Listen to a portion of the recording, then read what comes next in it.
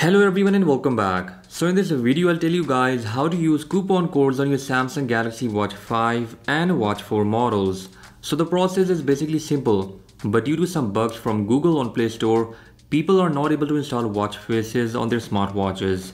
First of all, make sure your watch is connected to your phone via Bluetooth.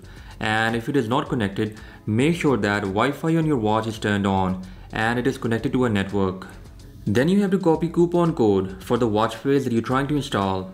After that, go to that watch face or application or you can simply redeem your code by going into Play Store, tap on your profile, choose payments and subscriptions and tap on redeem code.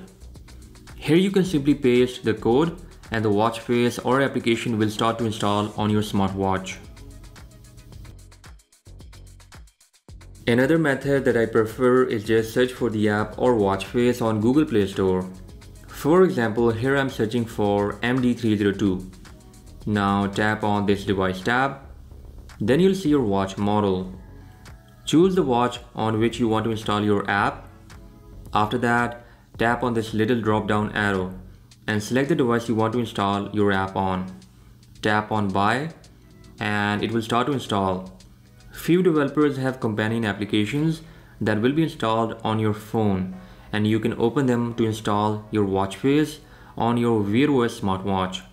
Even if still your watch face is not installed on your smartwatch, you can copy the link from Google Play Store by tapping on these three dots on the top right side.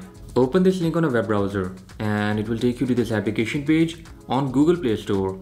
Tap on install and it will ask for the device on which you want to install. Just choose it and enter your password. After some time, the application will be installed on your smartwatch. So these were some methods that you can try to install apps and watch faces on your Galaxy Watch. I hope you liked this video and I'll catch you guys in the next one. Until then, bye bye.